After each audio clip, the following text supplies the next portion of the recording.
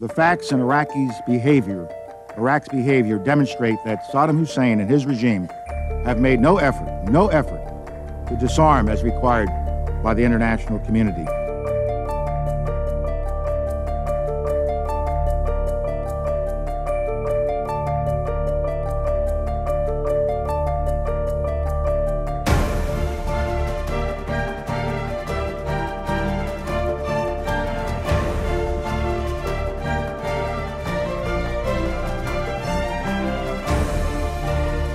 Fourth source, an Iraqi major who defected, confirmed that Iraq has mobile biological research laboratories in addition to the production facilities I mentioned earlier.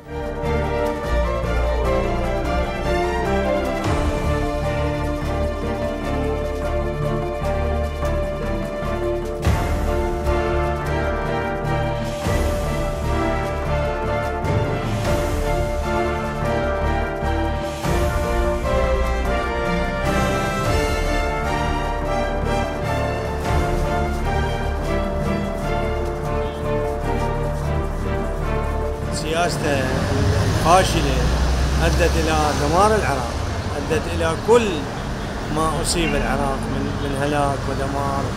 ويعني رجعنا لي ورا بسبب هاي مع الأسف.